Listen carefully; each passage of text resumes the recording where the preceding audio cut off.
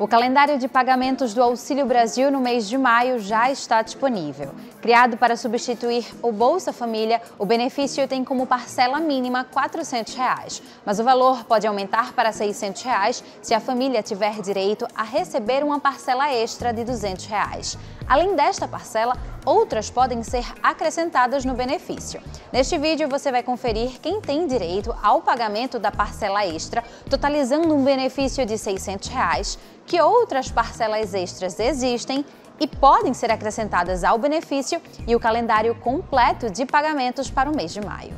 Se você quer ficar por dentro de notícias sobre outros benefícios, não esquece de se inscrever em nosso canal no YouTube e ativar as notificações para não perder nada.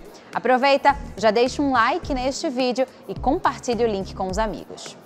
Como dito anteriormente, a parcela mínima do Auxílio Brasil é de 400 reais, mas uma parcela extra de 200 reais pode ser adicionada ao benefício. Se trata do Auxílio Inclusão Produtiva Urbana, que é destinado a famílias que possuem algum integrante trabalhando com carteira assinada. Assim, os inscritos no programa podem receber parcelas totais de 600 reais. De acordo com o texto aprovado, o benefício extra também será pago em casos de desenvolvimento de atividade remunerada formalizada e registrada no CAD único, para o trabalhador autônomo, de empreendedor ou microempreendedor individual e para o profissional liberal ou outra modalidade de trabalho.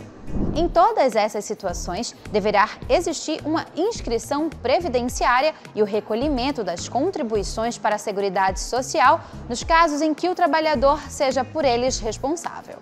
Além desta parcela específica, outras parcelas extras também podem ser acrescentadas no Auxílio Brasil.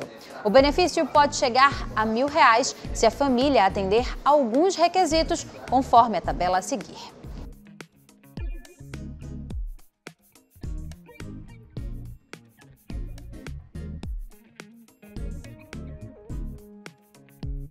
Para conferir os detalhes, você pode assistir um outro vídeo sobre o assunto em nosso canal no YouTube. Confira agora o calendário de pagamentos do Auxílio Brasil, programa que substitui o Bolsa Família neste mês de maio.